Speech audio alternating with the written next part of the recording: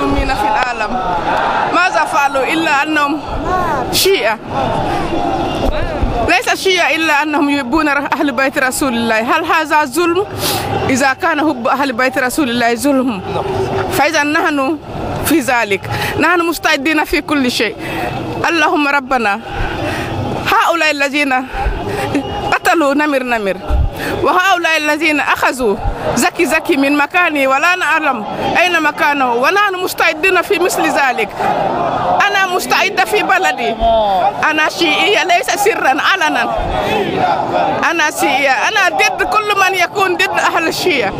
أنا ضد كل من يكون ضد الشيعة في العالم. ولو كان أمريكا ولو كان السعودية ولو كان أحد في العالم.